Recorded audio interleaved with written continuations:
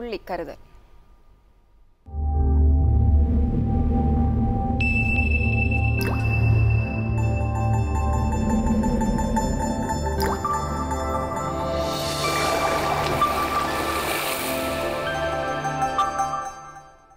ഇന്നലെ പ്രേക്ഷകരോട് ഞങ്ങൾ പങ്കുവച്ചത് തലസ്ഥാന നഗരത്തിലെ കുടിവെള്ളം മുട്ടുന്നതിന്റെ ഇരുപത്തിയഞ്ച് ദിവസം കഴിയുമ്പോഴത്തേക്കുണ്ടാകുന്ന ഗുരുതരമായ അവസ്ഥയുടെ കാഴ്ചയായിരുന്നു. ഇനി നമ്മൾ പോകുന്നത് കൊച്ചിയിലേക്കാണ്.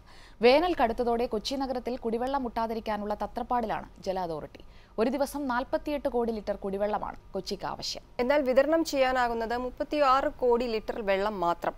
കൃഷിക്ക് അടക്കമുള്ള ജലസേചനം കുറച്ചാണ് നഗരത്തിലേക്ക് ആവശ്യമായ വെള്ളം എത്തിക്കുന്നത്. സംസ്ഥാനത്തെ ഏറ്റവും വലിയ നദിയായ പെരിയാറാണ് കൊച്ചിയുടെ കുടിവെള്ള സ്രോതസ് പെരിയാറിൽ വെള്ളത്തിന്റെ അളവ് ഓരോ ദിവസവും കുറയുന്നത് കൊച്ചിയെ കുടിവെള്ളക്ഷാമത്തിലേക്ക് തള്ളിവിടുന്നു.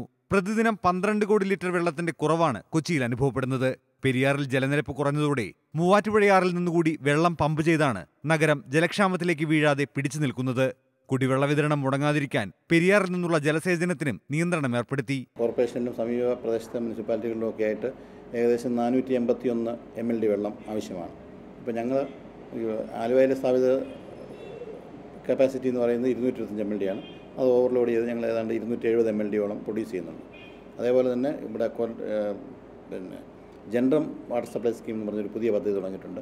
അതിൽ നിന്നും ഏകദേശം അറുപത് എം എൽ ഡിയോളം വെള്ളം ഇപ്പോൾ പമ്പ് ചെയ്യുന്നുണ്ട്. പെരിയാറിലേക്ക് തള്ളുന്ന മാലിന്യത്തിന്റെ അളവ് വർദ്ധിക്കുന്നതും കുടിവെള്ള വിതരണം അവതാളത്തിലാക്കുന്നു. തീരത്തുള്ള വലിയ കമ്പനികളും അറവുശാലകളും ടൺ കണക്കിന് മാലിന്യമാണ് ഓരോ ദിവസവും പെരിയാറിൽ നിക്ഷേപിക്കുന്നത്.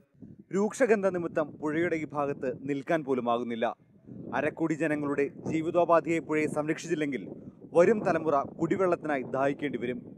കൊച്ചിയിൽ നിന്ന് ക്യാമറാമാൻ പ്രശാന്ത് ആൽബർട്ടിനൊപ്പം നവീൻ വർഗീസ് ഏഷ്യാനെറ്റ് ന്യൂസ്.